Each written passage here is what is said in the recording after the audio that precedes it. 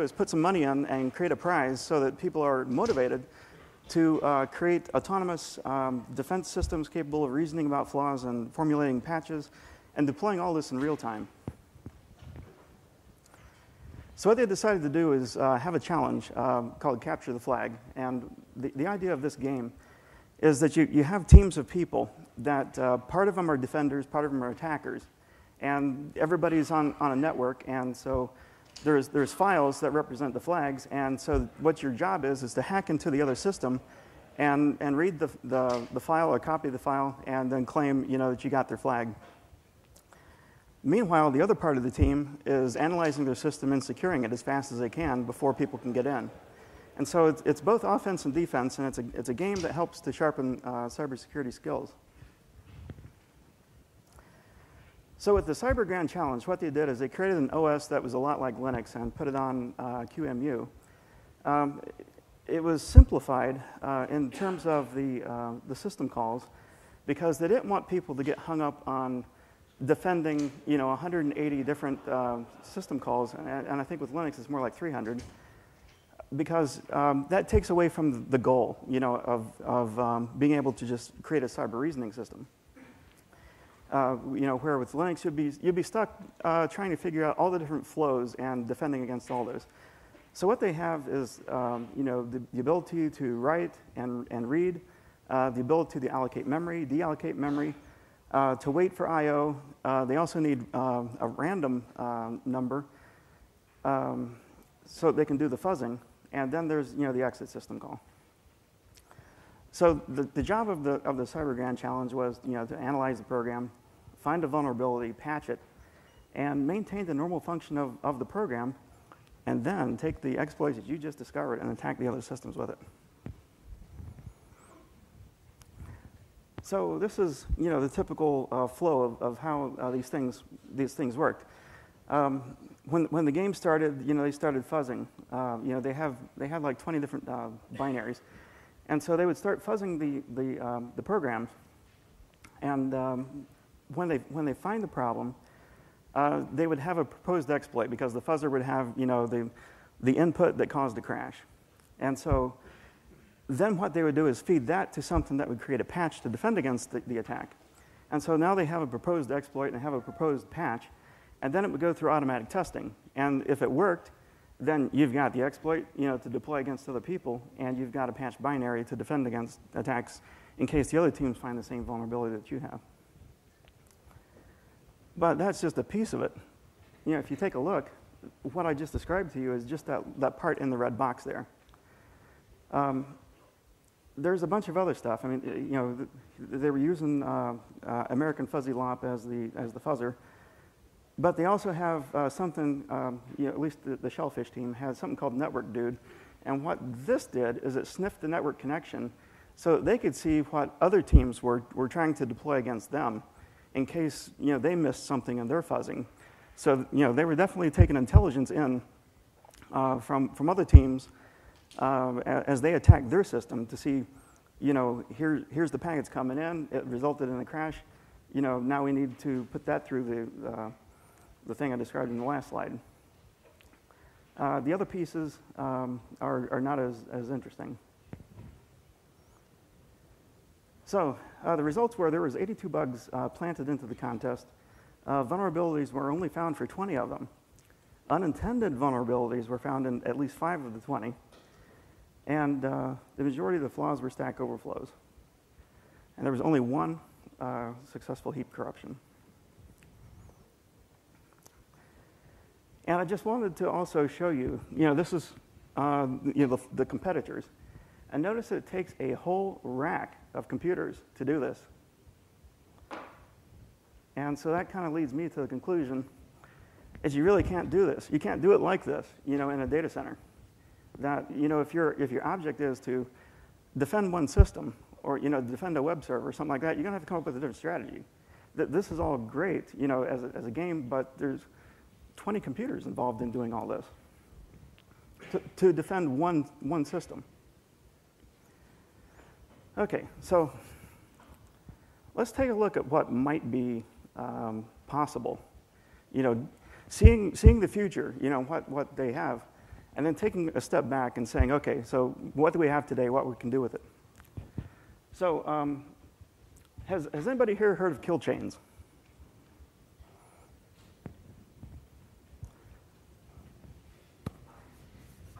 This is not the kill chain.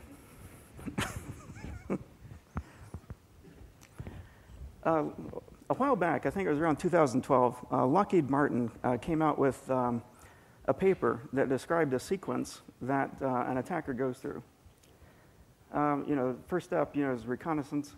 Uh, they, they, do reconnaissance, weaponized delivery, exploitation, installation, command and control, and then actions on the objective. So in this first phase, what they're doing is research on, on the, the target. You know, they're trying to get the, the identity of, of people and, and select, you know, which, which are the attack points. So then, after they, they got the attack points, they know what they want to attack, and so they got to create an exploit uh, to take advantage of this. The next step is to get the weapon to the target. And that could be an email, you know, that could be a TCP packet, you know, aimed at a, a service. Okay, so then the next step is the weapons code gets triggered, which, you know, can be somebody clicking on an email uh, and then it proceeds to uh, backdoor, uh, you know, on the, install, on the, on the target, and uh, then, you know, you want to maintain persistence. So then the next thing is it calls home uh, to get further instructions about, you know, what, what to do. And then once they've, they've got the instructions, you know, they can, they can move out against the objective. Now, I also wanted to give a sense of time on these things. Um, you know, reconnaissance can, can take hours, maybe days. Uh, weaponization varies because once you've identified your target, uh, it may take you days, weeks, months uh, to create the, the, exploit for it. But here's uh, the, the point that, that you really should notice, though, is that the, uh, the delivery, exploitation, and installation is, is over in seconds. And then once, once they've got past that phase and they've called home to get further instructions, they can stay hidden for months you know, they can take actions towards the objective for months, you know, without, without you noticing. Okay, so um, who, who all here has heard of attack? Okay, so this is going to be new for everybody. Oh, we didn't expect that, did we? Okay, so what attack is, is that this is uh, uh, a system uh, uh, created by MITRE. you may know of MITRE because they create the OVAL, CVE, XCCDF, um, and some other security standards. This is related to their, their work on CAPEC and CWE, but it's, uh, the, the, acronym stands for Adversarial Tactics, Techniques, and Common Knowledge. And what this is a, is, is it's a formal catalog of actions that the adversary can, can take after compromise.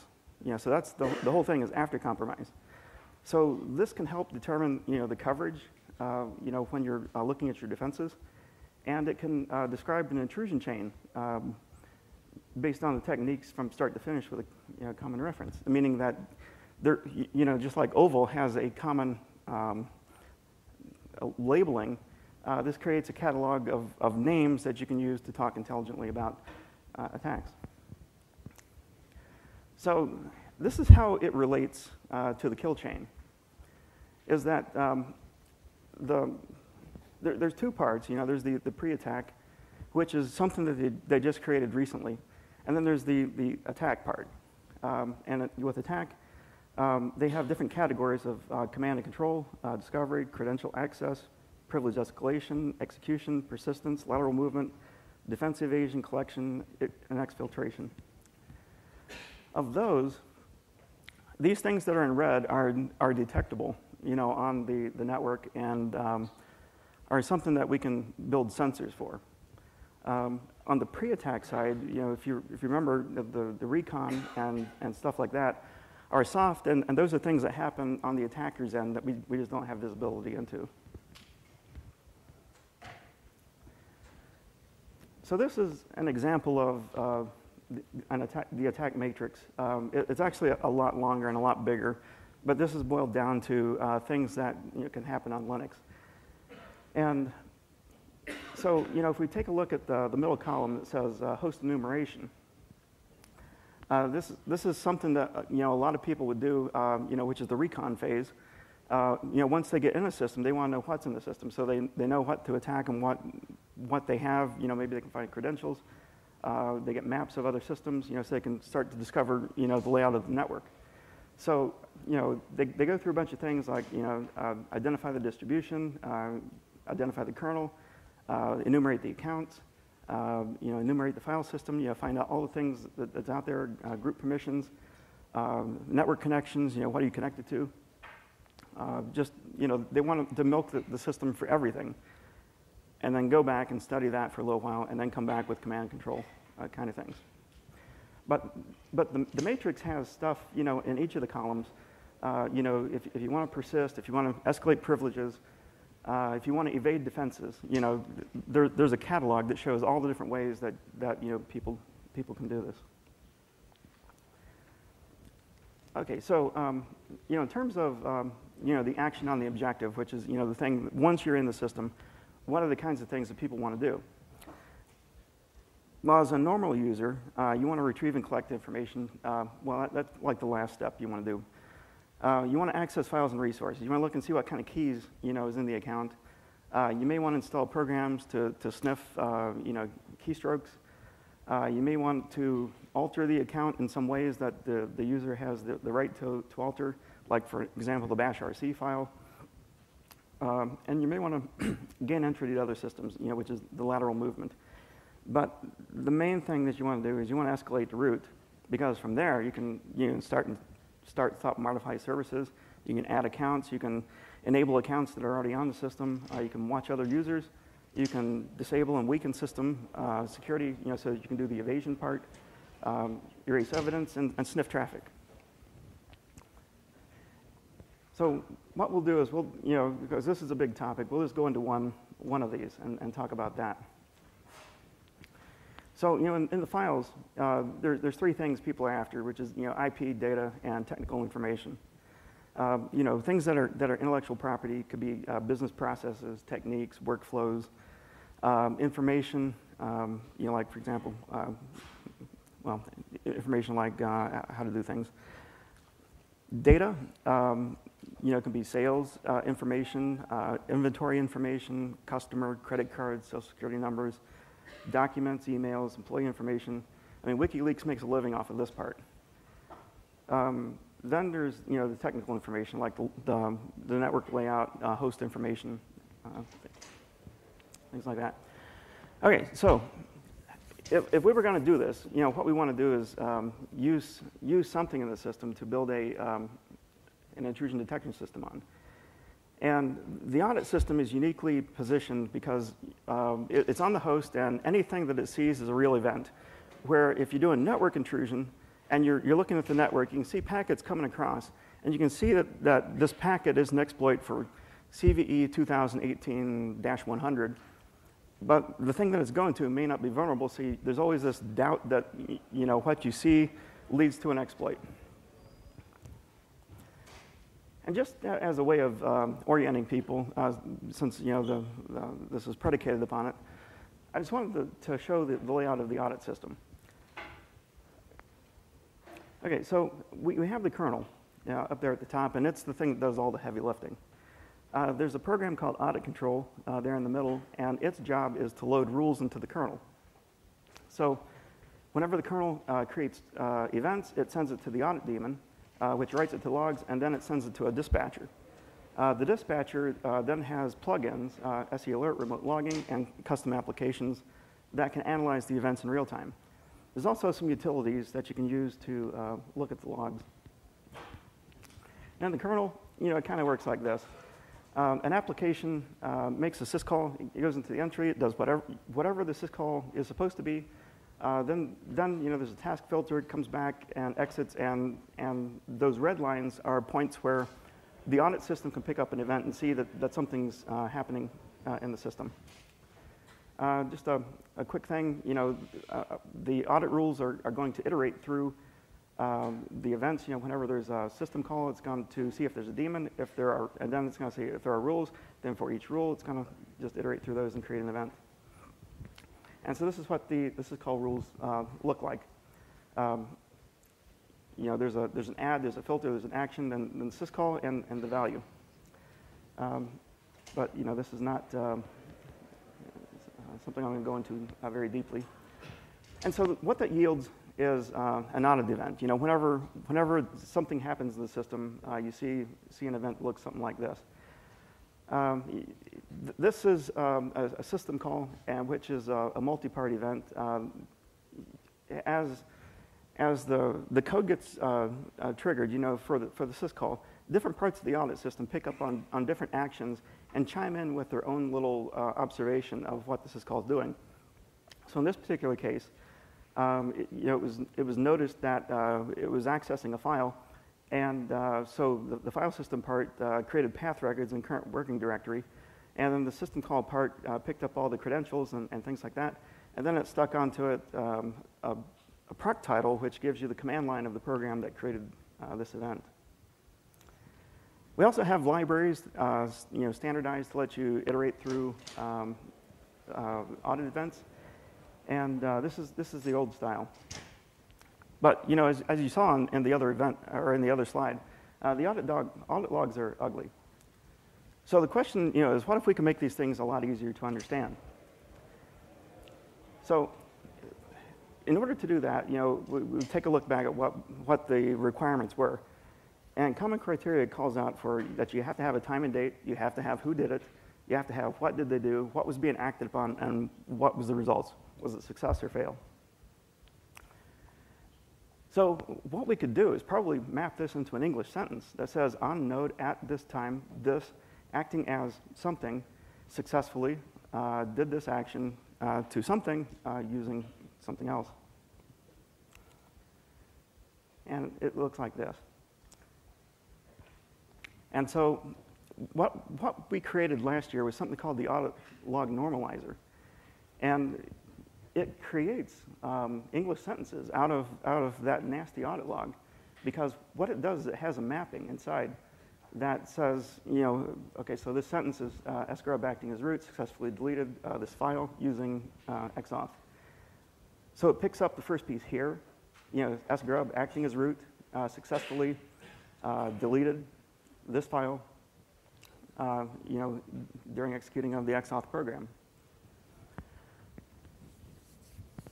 So uh, what we can do with this is now we have uh, the logs in a normalized format, uh, which can then be analyzed by uh, OpenOffice or Excel. Uh, we can pull those events into databases. Uh, you can write R scripts, you know, through charts, modeling, and machine language, or, or machine learning. So this normalized API um, gives you um, information about the event without having to iterate through uh, in a loop. Uh, so you can get the session, the subject's identity, uh, the object's identity, uh, you know, key information, uh, SELinux, labels, uh, time, but it also gives you metadata. So you know what kind of event that it is, what kind of subject. Like, is this a privileged account? Is this a service account? Is this a user account? it also gives information about the kind of action being performed and what the kind of object is. Like, you know, it could be a sub, it could be a socket, it could be a file, it could be other things. But what this does is it lets you subset and create uh, analytics uh, based on the types of things that's being accessed. Okay, so um, the audit uh, system has um, uh, different feeds that we are going to utilize uh, to create something with. Uh, the kernel can detect promiscuous sockets being opened. It can detect core dumps. Um, uh, people accessing symlinks that um, are, or creating symlinks that um, have bad permissions, uh, like you're, you're a common user and you're linking to something that is set UID root, um, things like that. Uh, we, we, can also get events from uh, IP tables, NetFilter. We can get uh, TTY events. we, we have trusted programs like PAM, login, SSH, GDM, um, anything that runs through password or shadow utils all create events. We also have information from policy engines, uh, such as SE Linux and uh. But we also can see uh, the system integrity uh, through things like AIDE, you know, because when, when AIDE runs, uh, it creates uh, an event at the end to give the audit system a, summary of, of what it found. But there's also another program, the File Access Policy Daemon, which is created to do application whitelisting. And this is an important part of the, the defense that um, I'm, I'm going to show you a little bit later. Uh, there's also recently created something called the USB Guard, uh, which um, if, if, you have a USB stick and you put it in and it's an unknown stick, it can prevent that from being used. And it also sends audit events to let, to let the system know that you know, somebody just tried to put something, something in the system that we don't know anything about. Okay, so um, let's take a look at the defense tactics. Uh, we, we really want to detect you know, what's going on. Uh, we want to deny access to people, and we want to disrupt their whole uh, system uh, or, or their, their action on the objective. So the kinds of things that we can do, you know, against, um, against an adversary um, is, you know, we can do alert, we can um, change object permissions, uh, we, can, we can manipulate the processes, we can manipulate the session, we can uh, modify accounts, we can um, do actions against the login, and we can do, do stuff against the interface uh, hardware, and, and we can do things against the, the system. So, you know, typical alert reactions might be do nothing, email the admin, or monitor uh, the system a lot more closely. If we're reacting to a process, uh, you know, we may want to trace the process execution and take a deeper look, you know, what, what the thing's doing. We may also want to freeze the process, you know, so we can, um, you know, just stop it where it's at and then let somebody take a look at it. Um, we can also terminate the process check for package uh, upgrades, we can change application permissions, and we can change directory permissions. Uh, session reactions. We can in increase the monitoring of a session, we can freeze all processes, we can block file access, or we can kill the whole session. Account reactions, uh, we can drop supplemental groups, we can move it to a more restrictive SELinux role, we can force a password reset, we can, we can lock the account and logins. Uh, we can block the login for an amount of time. We can, we can block it for a whole account. We can uh, do it against a specific terminal for logins. We can also block uh, logins for um, addresses, domains, subnets, or geocodes. So now, we're going to get ready for the, uh, the cyber reasoning system and the, the machine learning uh, pieces. So one of the models that we could use, uh, you know, to, to, do this is that we have uh, information about the, the origin of a, of a, login, an account that they're using for the login, uh, the session information, and we can also see, you know, processes and objects that, that's being accessed. Accounts uh, can have multiple sessions, so that, um, you know, one, one, you can have more than one, one session running at a time from one account. But you can also have more than one um, origin. You know, uh, somebody may be SSHing in from, from home, uh, and then they, you run a, a different uh, session through a jump box, you know, to the same system. So daemons are going to be um, modeled just a little bit differently. Uh, they, they don't have a session because they don't, they don't actually log in. So the session there is going to be uh, minus one. And so with, within their session is going to be processes and, and objects. So you know you would have Apache and it's, and it's accessing files and, and sockets and things like that. Okay, so here's, here's how I, I think this thing would work. Is that um, when somebody, uh, okay, so as the program's running, we got audit rules that notices things that are happening, you know, at the process level. And so if you have a, uh, a process, you know, that's starting to go rotten, you know, that it's starting to trip, trip things, what we're wanting to do is to uh, stain the reputation, you know, of, of, of, the session and say that, you know, there's things that's going on in the session that are bad. But we also want to get a little bit on, on the origin and the account to say, you know, that um, this session, uh, running from this account, you know, um, is, is kind of hurting the reputation of uh, where this came from and also the, the account holder.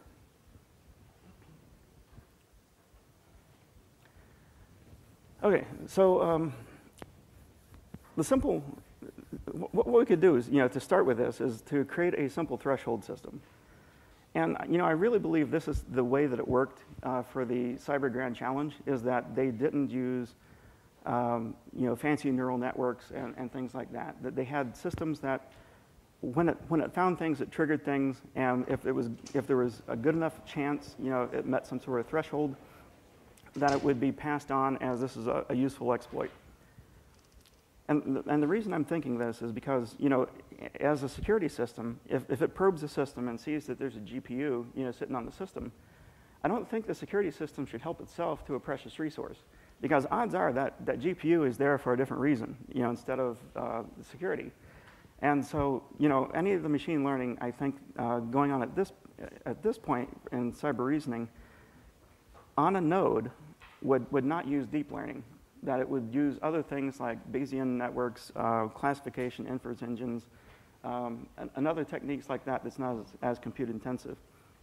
Now, if you're looking at the whole data center, then you probably do have a GPU, you know, for exactly that reason and you are getting a feed from you know the whole the whole data center, probably with uh, fusion of um, you know network intrusion detection, so that you can see information about what kind of attacks are occurring on the network, seeing what kinds of things are on the other end, and then reasoning about whether or not the attack may be successful, and then confirming that with information uh, coming from the host, you know, that, that may see that you know suddenly there's a shell that, that came out of uh, Apache.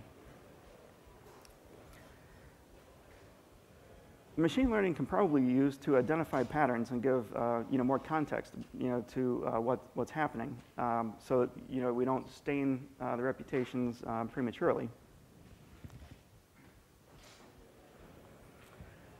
So, you know, in this model, you know, with, with just simple thresholds, uh, what we would do is get audit events looking at, you know, processes and objects, and based on what we see, uh, you know, send scores, you know, to the session level and to the account and to the, the origin, which then, once the score gets high enough, then triggers a reaction. Getting a little more fancy, you know, I think that what, what would be the next step in the evolution of this would be an ensemble model, where you have the events coming in and then it gets split across uh, different systems that look for different things. And then, when, and then those things get summed up, um, and then a, a reaction occurs based on that. So you, you, may have something that looks for bad events, you know, things that are, are known bad, like, for example, core dumps. Uh, you may have something that's doing pattern analysis, you know, so that it, it looks to see that, you know, there's a bunch of files being copied, and so we see individual accesses, but, you know, there's a pattern to all this that uh, somebody's doing ransomware, you know, and that they're, they're scooping up every file on the, on the system.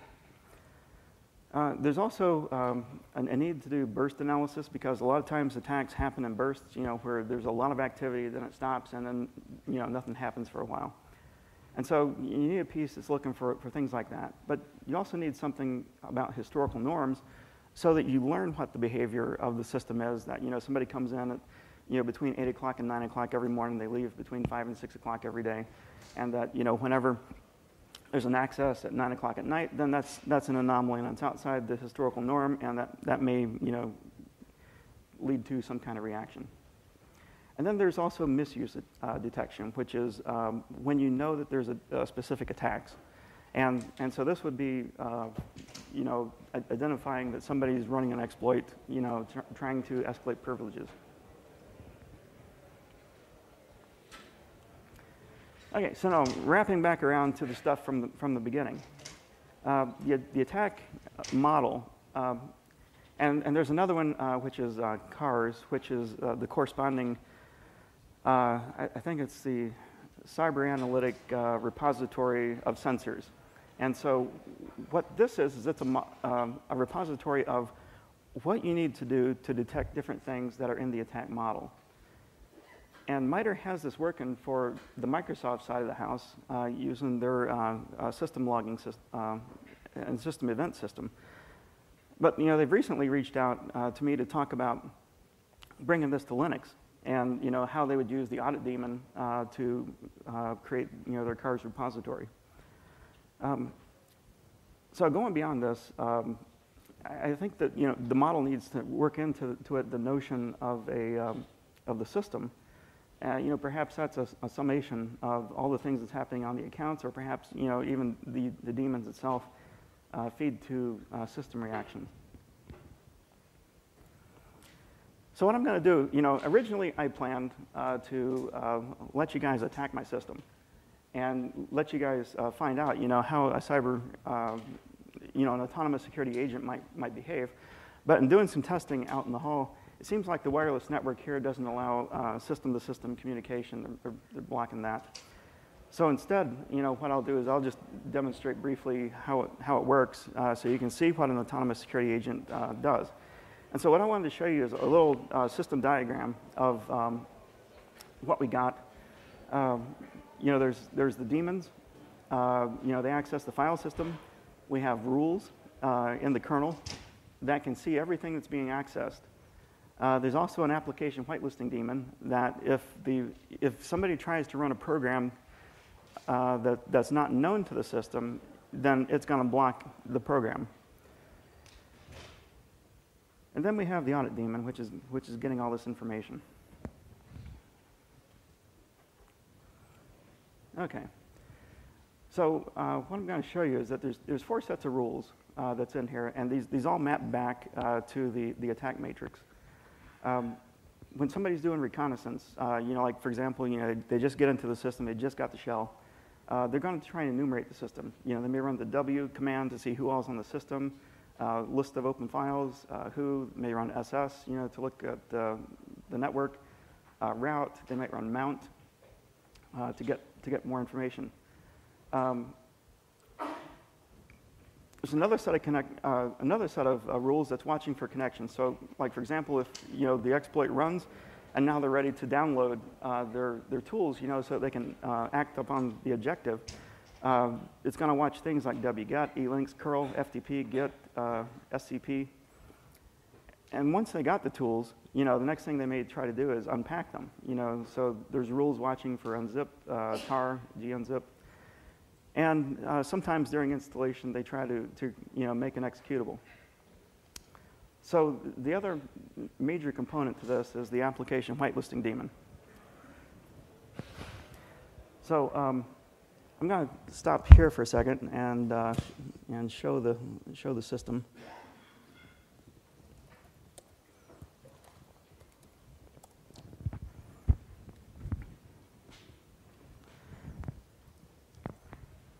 And right now what it's doing is it's uh, re rebuilding the database for the, uh, for the application whitelisting daemon.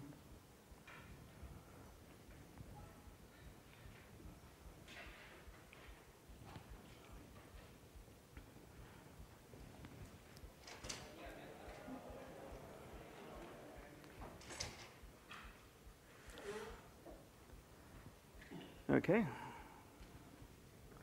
All right, so there we got the, the audit system is, is up and running. And um, yeah, I created a, an account for this, uh, HackMe, and um, you know, password is, is hard.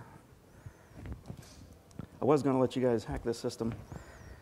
And so now, if you take a look, the, um, the system now sees that uh, there's a session, uh, number four, and you know, it's got the, the origin information, it's got the, the account uh, that, that's active, you know, HackMe.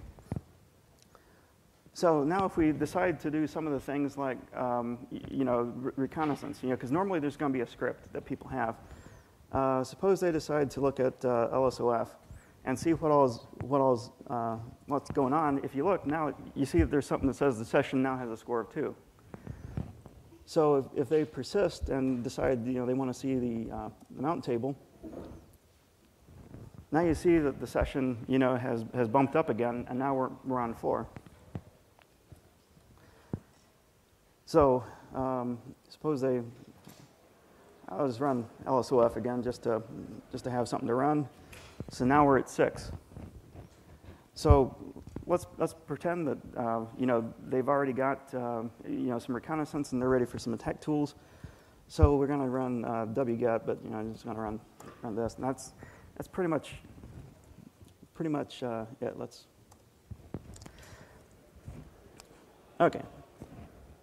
So what I wanted to show you here was that this thing just hit a session score of 12, and the system reacted. uh, by running kill all, you know, to kick the, you know, to kill the session. So um, let's take a look over here, and you see that, that we got logged out. So let's, let's go back into the system again, you know, because we're a hacker and we just got kicked out and we don't know what's going on. And, uh, you know, we want to see, we want to see uh, what all is on the system. So let's suppose the wget worked and they just downloaded some, some tool. Um, you know, this is um, MyLS, which is uh, something that's completely unknown to the application whitelisting daemon. So let's, let's run this and see what happens. Okay. Now let's take a look. We got kicked right out. Because the thing is, you know, if, there's, if somebody's running a tool that's unknown to the application whitelisting daemon, then that's even worse than somebody doing reconnaissance because that could be an exploit that they're getting ready to run. So the application whitelisting daemon saw it, said, no way, you're out of here. And the score was high enough that it also uh, created an IP tables rule so that now you can't get back in. So, as an analogy, you know, for the way the, the autonomous security system works, it's kind of like, you know, you're at a bar and you're talking to a nice girl, and all of a sudden you wake up and you're in the street, you got a bloody nose, and you wonder what happened. And that's what happens. You trip across something, you're out. And if you trip across enough, you can't get back in. So,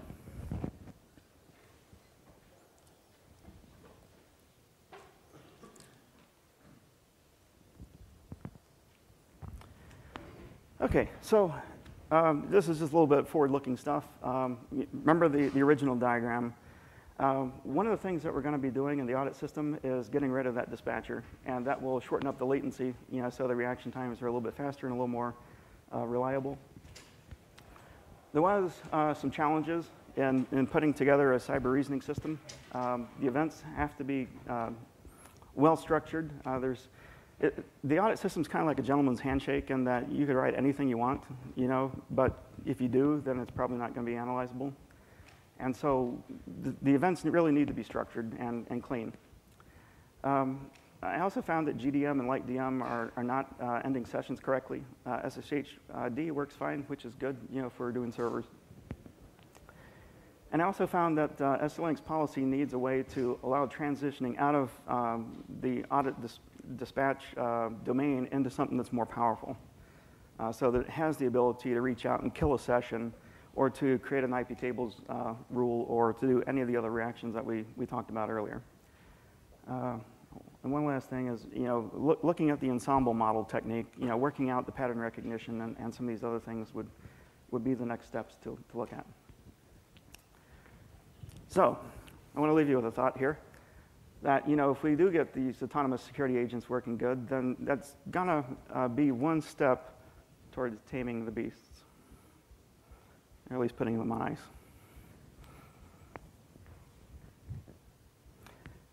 This, this really happened in North Carolina just a couple weeks ago. Alligators were frozen in the pond; they had to breathe, and that's it. Yes.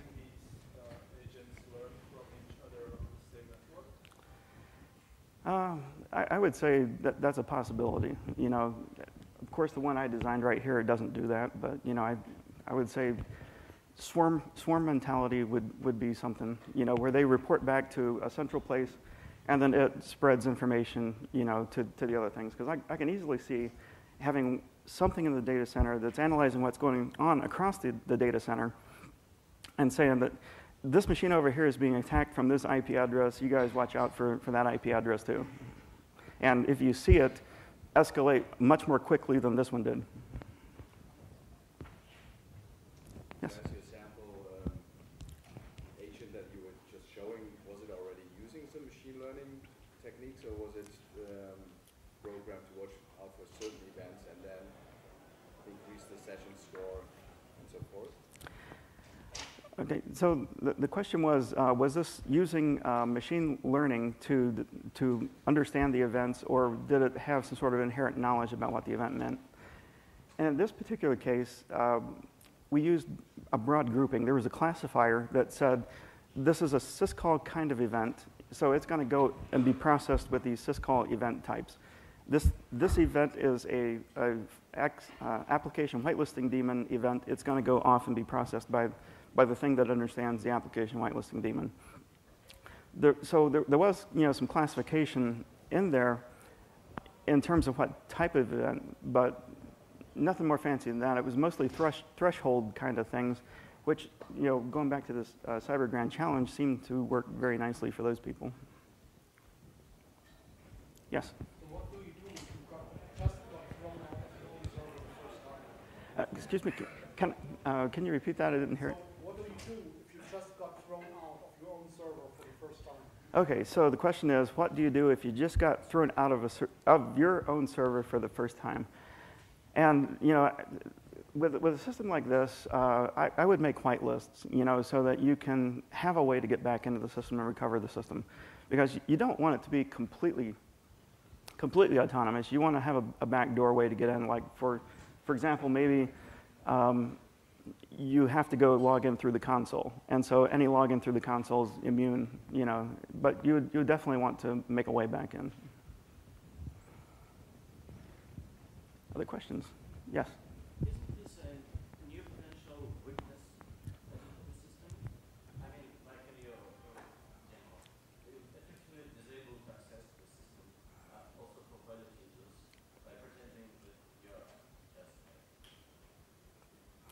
So, so I guess the, the question here is, uh, does, has, has this created a new weakness and a, you know, new potential weakness? And, and that would be based on, for,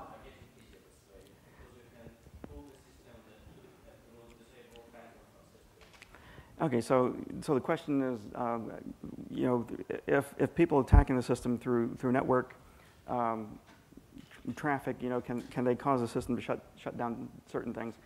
Well, if, if I've, I've, got a server around the internet, and that thing is being pounded, absolutely pounded. Uh, and it's, it's, specific addresses. You know, you can look and you can see that most attacks are coming from about seven or eight different addresses, and they will hammer your system until they decide that you, they can't get in and they move on to some other system, but by then somebody else has come along.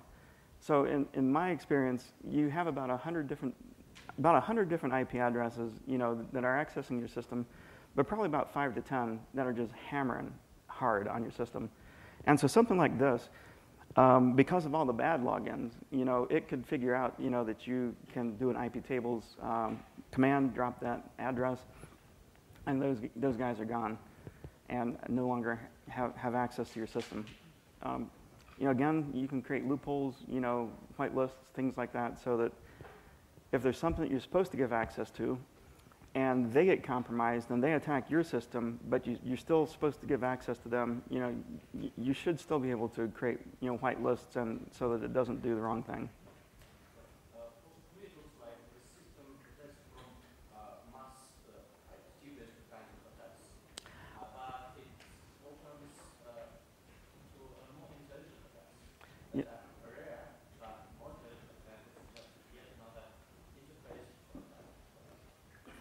could, yeah, okay, so, uh, so I guess the comments, that this could be just another interface for, for attacking. Yes, you know, any computer software code is, you know, can be abused um, in, in, some way. So yeah, I, I, would, I would agree. But, you know, I, I would think that uh, we, we try to limit the, the damage by, you know, judicious placing of whitelists, you know, things like that. Yes, well, well, that too, you know, because this doesn't replace all the hardening stuff that, that's done, you know, in the first place. Yeah, it raises the bar because, you know, one of the things that people do is they steal credentials. And so now they have valid access to a system, you know, and it may not be root, but they got valid access to a system. And, uh, and then again, you know, this was just a contrived example, you know, um, to, to show, you know, how the, these kinds of things could work.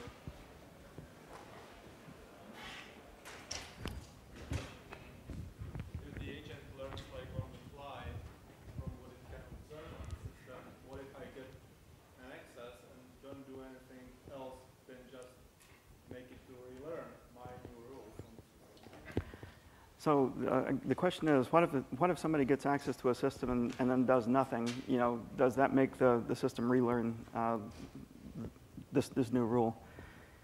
And I, I would say yes. You, you know, un until you make a move, until you actually, you know, make an advance towards the target, you know, it's, it's not going to react. It's just going to let you sit. But when you make a move, it's watching. Are you able to configure agents to exchange information about the attacks with each other? Um, so, if I understand right, the question was, um, will, will agents be able to exchange information and, and learn from each other? Um, yeah, I, I, like, like I said, I, I would envision a you know, fully fledged system to have something watching the data center so that when something is identified in, in a, a host, that it creates an audit event, you know, that describes what it's, what it's just seen on the host and a response event saying this is what I did and this is my confidence factor of, of what it did.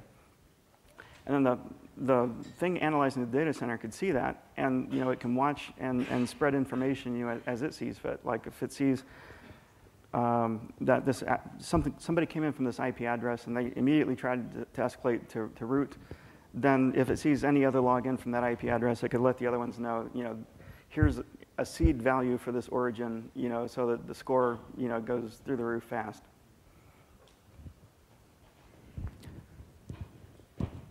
Any other questions? If not, uh, hey, thank you, and uh, I'll, I'll be around if you have other questions.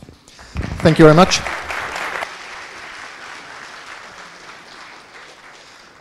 And please leave your feedback on uh, schedule. Thank you.